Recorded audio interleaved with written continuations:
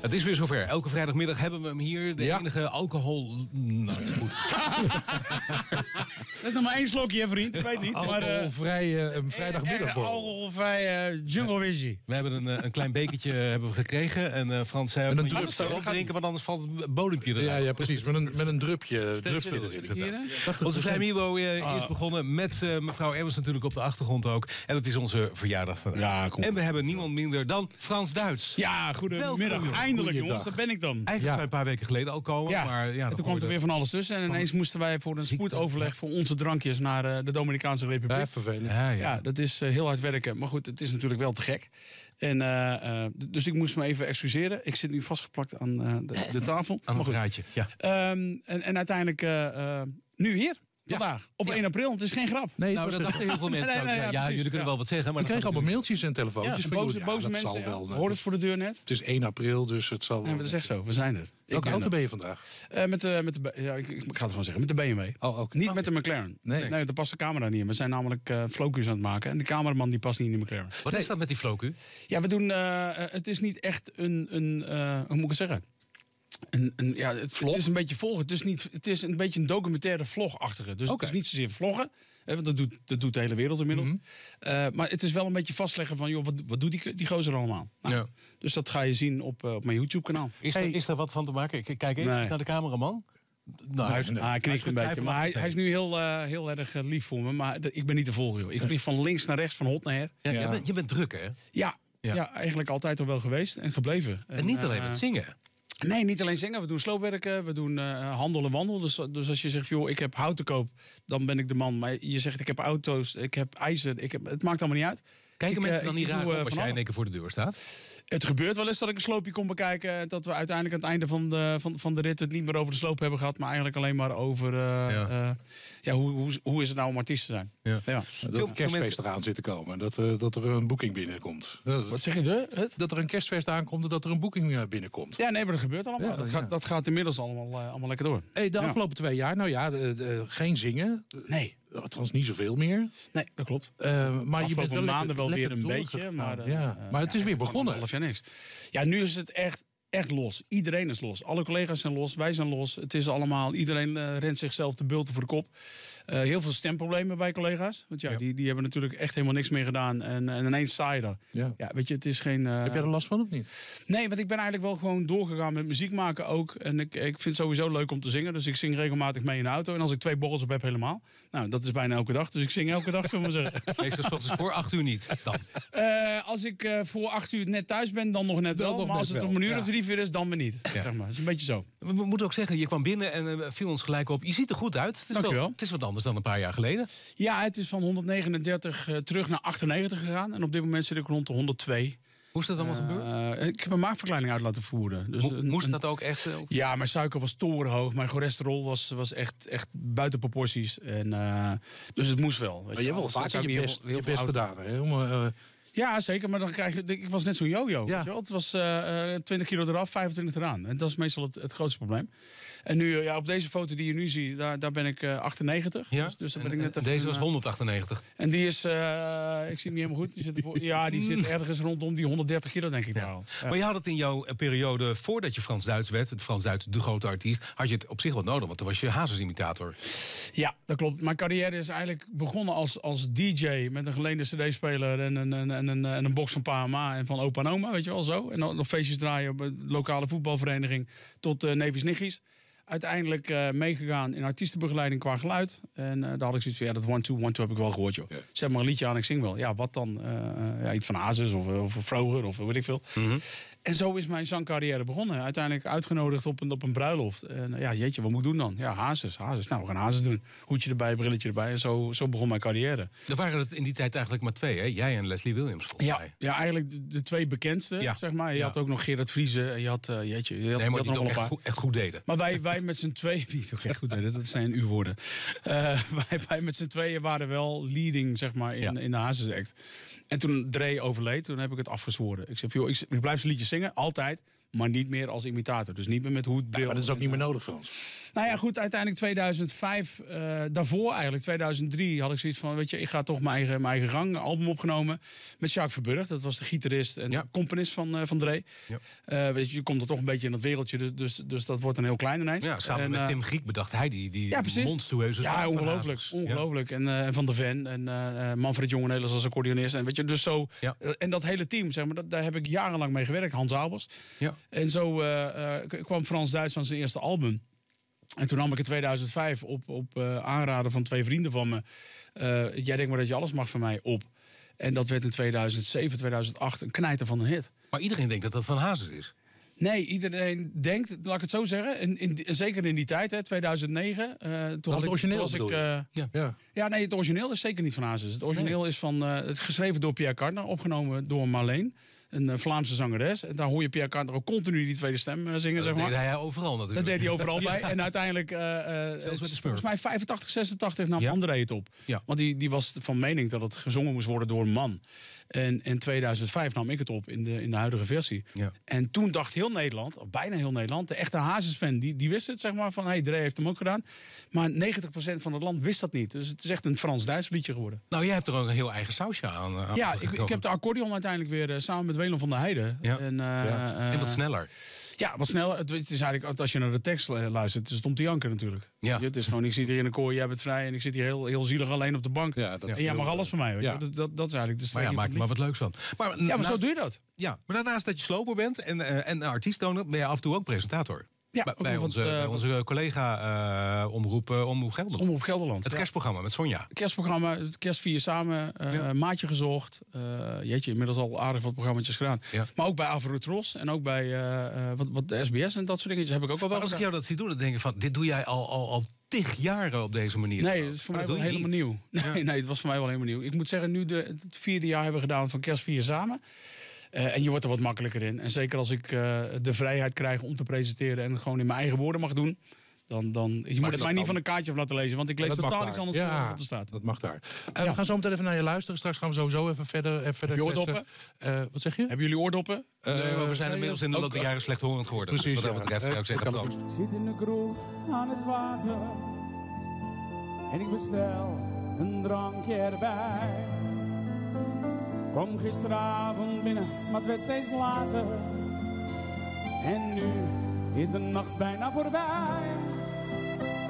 Mijn maatje zegt, dit is de laatste man.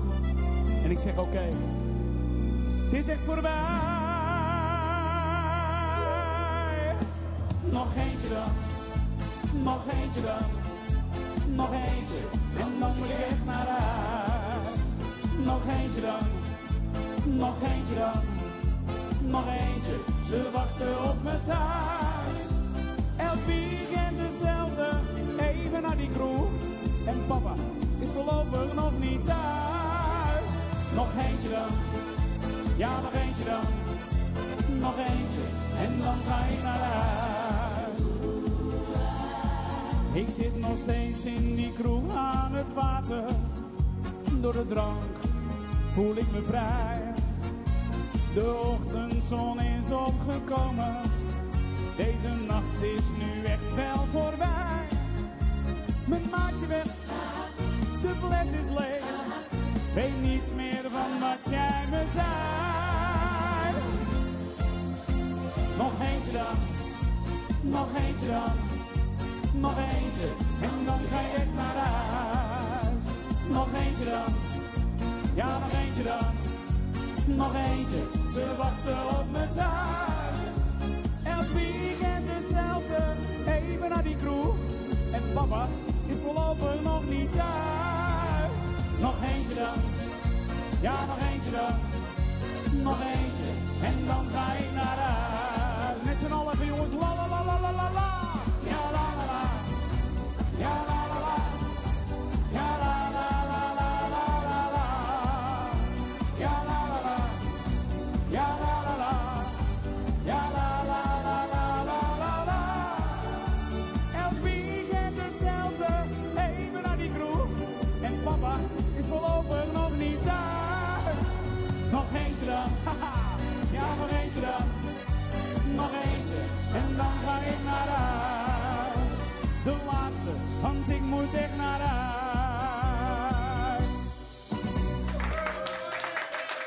verder in de Vrij Mibo op deze vrijdag 1 april, onze verjaardag met eh, Frans Duits. Frans, Frans, je zit tegenwoordig ook in de drank. Ja, niet alleen eh, eh, aan de drank, maar ook in de dranken. Ja, dat klopt, ja. ja. Het zijn een aantal. eh, eh, Ja, ik heb er eentje bij me, jongens. Sorry. Die, Ja. die andere, die, eh, Nou, eh, die, ik dacht dat ze in de auto stonden. Maar goed, je moet natuurlijk nooit denken. Alhoewel, ik heb dochters. Maar eh, uiteindelijk, eh eh, wij hebben een zestal drankjes. Waarvan er nu vijf zeg maar, in Nederland eh, eh, bekend zijn. En aanstaande week zitten we hier om de hoek in Walibi. Hebben we een heel groot event. Ja. Waar we eh, onze nieuwe drankjes gaan, gaan presenteren. Hoe kom je daar nou in ja. bij? Ja. Ja, eh, drie- bijna drie jaar geleden inmiddels. Eh, mijn, ik, ik heb een nieuwe buurman gekregen, zes jaar geleden. En drie jaar geleden hoorde ik dat hij vierd was. En die heeft echt een heel mooi huis. Dus ik belde hem op. Ik zeg, joh, Michel, ik, zeg, ik hoor dat je vierd bent. Nou, toen begon hij te lachen. Hij zei, nou, ik heb wel mijn bedrijf verkocht. Maar dat is net even iets anders dan vierd zijn. Ja, ja. En eh, nou, ik zat op dat moment in Oostenrijk. Dus hij, eh, hij van, joh, wat een drukte om je heen. Ik zei, nou, ik ben in Oostenrijk, la la la. Vlugel en zo. al- Eh, al- Ja, precies. Weet je, allemaal dat soort eh, shotjes en dingetjes. Toen zegt hij, joh, als je terugkomt, heb ik misschien wat. En toen zijn we begonnen met een vodka caramello. En eh Ruskin of caramello is gewoon een, een, een, ja, een, een karamel met, met wat hot, vodka erin. Vrij snel, binnen een paar maanden, volgde daar een, een honingrum bij. Een uh, Romiel Tobacco. Eh komt bij dezelfde leverancier vandaan. En toen zijn we verder gaan onderzoeken. Want we vinden het leuk om, om dingen die je kan eten, hè, snoepen, eten, om dat in een drankje te stoppen. Nou, toen is er een peanut butter whisky liqueur is ontstaan. Van een peanut butter whisky liqueur is er dus een eh, jungle whisky gekomen. Eh, nu zitten we, eh, je kent nog wel die fireballs, toch? Die, Ja, heet, ja, die ja. heet pittige. kaneelballen, zeg maar. Ja. Nou, dat is ook in een flesje gestopt. Dat heet Tio Diablio. Dus Oompje Duivel, vrij vertaald. Vanuit, Ja. Maar hoe, hoe ziet zo'n vergadering eruit? Dan gaan we gewoon zitten. eerst drinken en dan dingen bedenken. Deze is goed. Ja, dit is, Deze is dit is goed. lekker, man. Dat is een goed idee. nee. Dat gaan we doen. Dat gaan we bedoel, doen. Want deze, dit is- Maar- dit is een whisky met, de- met de smaak van, van die banaantjes. Ja, precies. Die eh, snoepenaantjes, die ja. zitten erin. En wat leuk is met, met de Jungle Whisky, die gaat inmiddels eh, naar 43 landen. Eh, het is dit jaar ook eh, niet alleen jullie verjaardag op 1 april, maar het is ook het jaar van, van de, de tijgers. De tijgers staat Ja. op uitsterven. Ja. Dus wij doen van alle flessen die over de wereld verkocht worden, een klein aandeel zeg maar, daarvan, die gaan naar de stichting Help Us Oké. Save the Tiger. Dat staat ook netjes op de fles. Ik, ik vraag En me- er komt dus nu een nieuwe aan en we gaan samenwerken. En ik ga jullie een scoop geven, want officieel wordt dat maandag pas bekendgemaakt. Maar we gaan een drankje doen zeg maar, met Rob Geus. Oh, Rob Geus gaat zijn eigen Guineoncello. En dat is een, een limoncello, maar dan een creamy. Met helemaal handgemaakt in Mallorca. Met, het is een fantastisch mooi product. Klein beetje kokos erin. Als je dat proeft, word je helemaal gek. oh, daar word ik wel vrolijk van. Ja, daar wordt hij inderdaad vrolijk van. Met de groeten voorop. Ja. Even terug naar de, naar de muziek. Eh, Oh. ja, Frans. eh, binnenkort eh, hoorde ik, eh, je gaat binnenkort ook met een nieuwe single uitkomen. ja, klopt ja. We gaan eh 22 eh, april komt een nieuwe single uit. Wat voor, wat voor plaat wordt dat? Wat, wat Dat mij wordt, dat opvalt- wordt, dat wordt eh, eh, iets meer van nu. Eh, maar wel het volkse jasje. Maar iets, ik laat je hem zo meteen buiten de uitzending Ja, dat, vind ik een goed idee. Maar wat mij opvalt namelijk, is dat het eh, over het algemeen de, de laatste jaren veel uptempo nummers zijn Ja. voor jou. Ja. Terwijl je vroeger, eh, ik mis je. eh, Ik mis je, lieveling. eh, Het zijn allemaal bellen, het zijn allemaal lekkere relaxen. Ja, maar die zijn er ook nog. Zeker wel. Mhm. Ik, heb, ik heb een fantastisch mooi liedje over, eh, over mijn, mijn dochters. Ja, eigenlijk, ik heb dochters, zeg maar. Maar één, dochter wordt dan benoemd, om zo te zeggen. Ja. Dat is een fantastische. Weet je, ja, je moet ballads maken. Maar nu, de jeugd van nu, Ja. is wel aan op, op het volkse. Maar dan wel in een wat vlotte jasje. Dat schrijf, schrijf je zelf ook? Ja, ik schrijf zelf. Maar ik word ook lekker eh, muzikaal verwend door heel veel collega's eh, in het land. Heb jij een vast team om je heen met schrijvers? Of Eh, ik werk, eigenlijk altijd met, met Manfred Jongenelis. Ja. Maar nu de nieuwe single die is geschreven door onder andere Fluitsma en Fontijn. Oh. Dan krijg je dus een heel andere sound, ja, denk ik. ja Toch? dat, is wel, dat is wel iets anders. Maar normaal gesproken, als stelt dat Pierre Carter iets voor me schrijft... dan neem ik het wel op bij Manfred. Hoe, hoe kritisch ben jij geworden in de loop der jaren? Kritisch. Eh, ja, in zoverre kritisch. Bij mij moeten deze haartjes overeind gaan. En dan, dan, dan is het gevoel goed. Als En dat zo waar- is, En waar krijg je dat meestal bij als die haren overeind gaan? Is dat melodie of is het de tekst? Beide. Dat kan beide zijn. Dat, Weet je, ik dat heb- kan na drie seconden al zijn. Ja, inderdaad. Het kan bij het eerste, bij de, bij de tweede, het tweede opvolgende woord dat ik denk van wauw, weet je wel dat. Nou, en dat effect moet het hebben. Ik heb een liedje opgenomen, eh, hij is niet goed voor jou. Staat op, eh eh, even kijken, twee albums terug. Dat was eigenlijk een gesprek wat we een beetje afzaten te luisteren toen wij aan het lunchen waren. En dat was een heftig verhaal over een, een moeder die, die, die eigenlijk de, haar dochter verloor aan een kerel die, die ja, slecht, weet je wel, gewoon door en door slecht. En, en zij moest eh, van alles doen wat ze eigenlijk niet wilde, maar moest het wel doen omdat hij dat vond. Eh, die vrouw zat dat helemaal in, in zak en as te vertellen. Eh, ja, dat is niet helemaal netjes, maar dat zijn wel de verhalen, zeg maar. En Ja.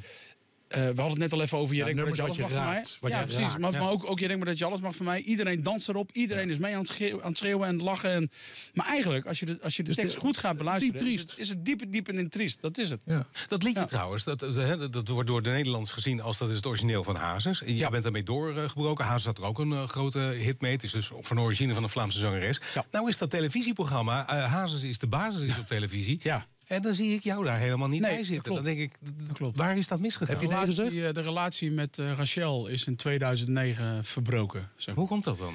Wij waren op eh, de Sena Awards. En eh, ik had de meest gedraaide kroegenhit in die tijd. En eh, het was knuffelen en gezellig en leuk. En we komen thuis en we zien het item op Boulevard.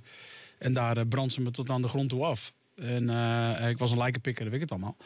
Eh, maar goed, dat mag, hè. Dat is iemand zijn mening. Dat respecteer ik dan Ja, ook. Eh, maar je mag ook een liedje gewoon doen van maar je mag, ook een liedje, je mag ook een liedje doen. En uiteindelijk eh, heb ik haar gebeld. eh, meerdere malen en, en geappt en gedaan. En daar kwam geen reactie meer op terug. Dus ze, ze wensen eigenlijk geen contact meer. Nee. En dat, dat respecteer ik ook. Dus dat hebben we zo gelaten. Ik ga heel goed met, eh, met Rox en met Ray om, absoluut. Maar met Rachel iets minder. Daar zit je dan En, eh, en Rachel bepaalt eh, min of meer wel wat, wat daar wel ja, dat niet Hazes mee is, de zingt. basis is gewoon haar programma. Ja, precies. Dus nou, en dan, dan ben ik daar niet welkom. Spijt me wel, want het is nog steeds mijn grootste held. Ja, wou ik net zeggen. Ik- Zit je dan niet toch een beetje met gemengde Ik gevoelens zit nou wel af en toe met, met een traantje in mijn, in mijn oog te kijken van... ah, daar had ik bij moeten zijn en willen zijn. Zou- als ze nu zou bellen, zou de deur dan nog openstaan voor jou? Voor mij altijd. Ja. Absoluut. Ja. Je bent niet zo haatdragend, geloof ik. Hè? Nee. Nee, je moet bij mij heel ver gaan, wil het, eh, wil, het- wil het over zijn. Dan moet je echt wel hele gekke dingen doen. Anders niet. Nee.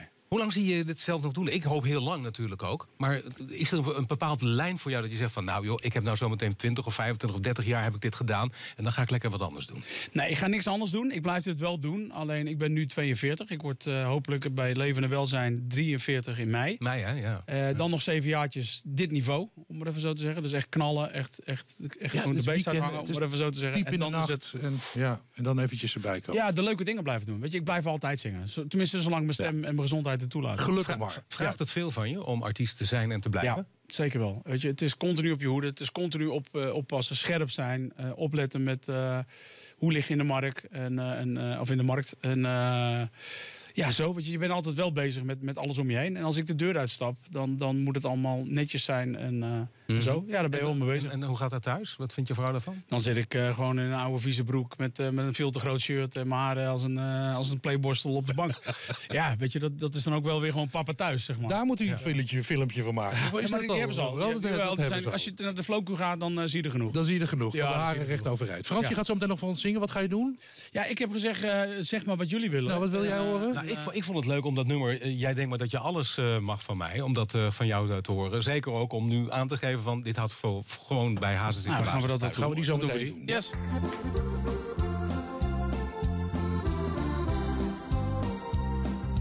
mag gedanst worden hoor. Er mag gedanst worden. S'avonds laat je mij alleen. Ik heb dan niemand om me heen. Rook mijn laatste sigaret. Dan ga ik alleen naar bed. Mijn gedachten doen zo'n pijn. Waar zou jij vanavond zijn? Het is al twee uur in de nacht.